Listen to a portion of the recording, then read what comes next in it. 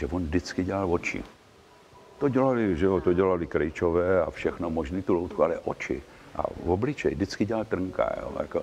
Takže podle toho se dá poznat, co dělal Trnka, co nedělal, protože to jsou takové zamlžené oči. To tady vidí na těch loutkách. A to je Trnka originál. Jo, jako. Tady toto k tomu bych jenom chtěl říct, to je jeho vlastně eh, v 59. film eh, Se noci svatojánské. A, a byl to velký propadák, protože eh, Se noci svatojánské je dost těžký. To jsou tři roviny vyprávěcí a, a teď on neměl rád ten dialog, že jo? takže tam je trošku komentáře a jinak je tam nádherná hudba, nádherné loutky, ale jako pro kina to moc nebylo, protože ty lidi tomu malinko nerozuměli. Že? A takže byl hrozně kritizovaný, taky odešel do soukromí, ale pak ještě udělal tři filmy a pak udělal tu ruku. Takže on, on se nenechal zastavit. Jo?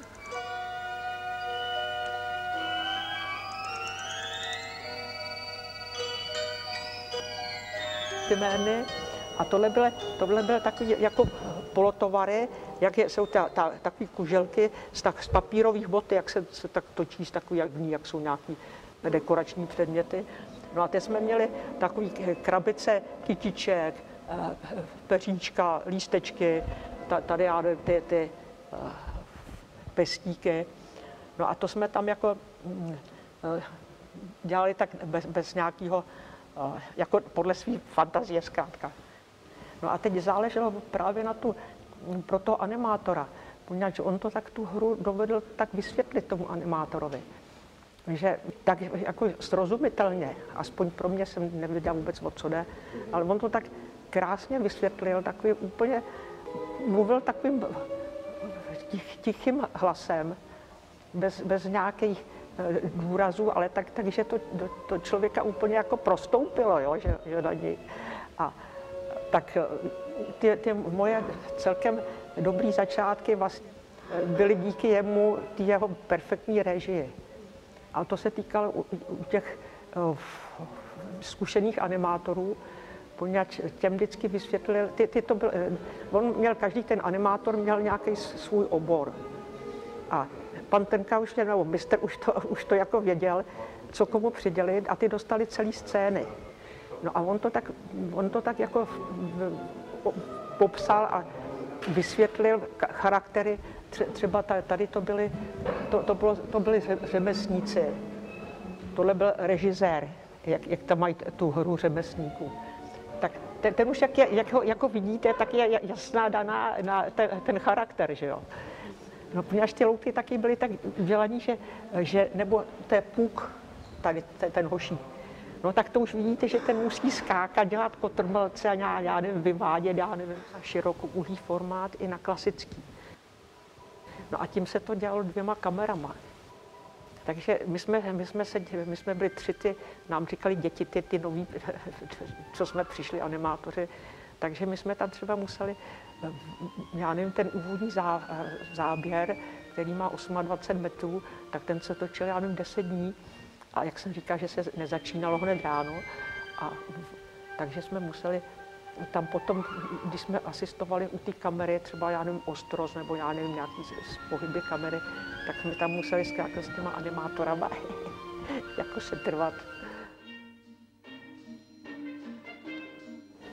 Tady tohle bylo zase, my jsme dostali potom za úkol, to byl tanec kentaurů, jak ten se tam objevil, objevil dvakrát ve filmu, jednou, jak, jak, jak, to, jako, jak to eh, organizovali nebo studovali a potom krátce na konci filmu, kdy, když bylo to představení pro to Téze a Hippolytu.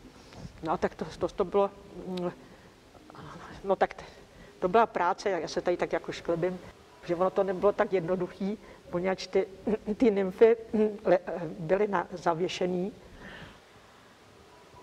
a ty, ty, ty, ty kentauři, ty, ty se museli ty tak jako poskakovali a, a tam potom po, pochytali ty nymfy.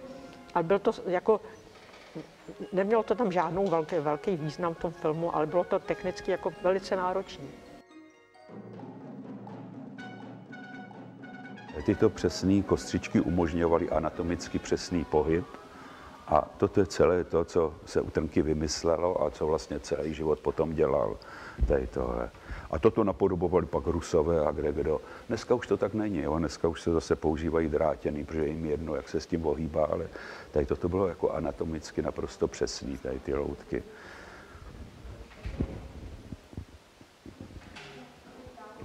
Jsou ty skelety, které umožňují vlastně tu loutku eh, pohybovat okno po okně, fázi po fázi. A eh, tady jsou vlastně jakoby dva příklady. Tohle je víceméně typ kostry, která se používá vlastně nyní nebo do, do teďka, když to tohle je vlastně ta klasická eh, kostra, kterou používal Trnka. Jo, to je vlastně opravdu skelet těch, těch úplně prvních loutek, kdy se ta kostra nějakým způsobem vyvíjela, jo, kdy hledali způsob, jak té loutce eh, umožnit tu vlastně eh, obrovskou škálu pohybu, která v úvozovkách, který jako se jako napodobuje eh, ten lidský pohyb. Takže tohleto, od toho to tak jakoby pokračovalo k tomhle tomu. No.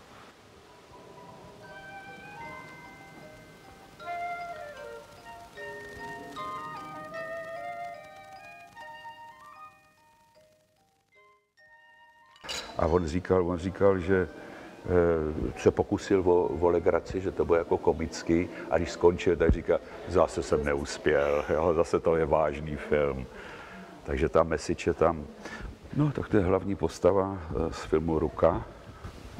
A myslím si, že to je ten masterpiece opravdu po všech stranách. Ten, do dneška je to světový film, který nezestárnul, který má velice silnou výpovědní Dneska už, jo, já jsem to viděl, ten film poprvé právě někdy v 660. No, tak jsem se díval na něho jako na animovaný film, protože jsem chtěl dělat hraný film, to ještě se nebyl ve studiu. A potom v těch 70. letech, když jsem byl v tom studiu a ta cenzura, já jsem byl ten dramaturg, eh, tak jsme ten film si pouštěli, my jsme jednu kopii zachránili, kterou STB neodneslo do, do toho sejfu a tu jsme si sem tam jako tajně pouštěli v projekci a, a opravdu to bylo, to bylo, to bylo dílo, jo, to, to nás zasáhlo.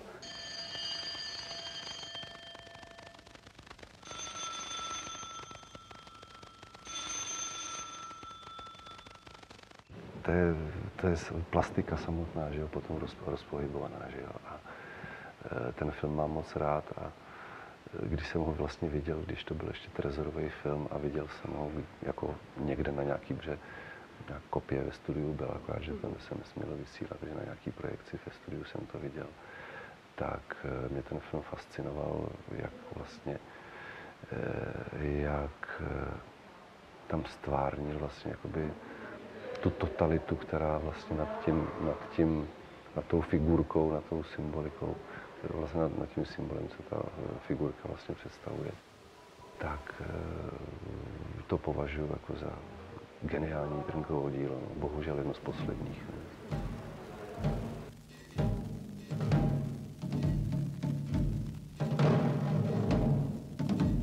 Tady ten, tenhle, ten byl, to animoval pan Šrámek. No ale to je, já, když vidím tady, tady tu ruku, tak, tak pláču, zkrátka řeknu to tak, jak, jako opravdu to bylo tak silný, jo. Jak on potom chudák tam potom, no, no ten jeho odboj k ničemu ne, nevedl, že jo, tak stejně, byl, stejně ta moc ho překonala. Tak to opravdu to bylo úplně nádherný. Že, že ta ruka, tak to, to, to byl, mm, spolupracoval s Ladislavem Fialkou, to byl český mim, který měl, měl divadlo, založil tam divadlo na Zábradlí, to byla pantomíma první s tou svou skupinou. A tenkrát byl tak, to, to byl taky jako mladý samozřejmě ještě v té době. A právě tady, tady, jak je v tom scénáři, tak tou rukou, on, on hrál vlastně tu ruku, ta, ta byla jako, jak to, jako živě dělaná.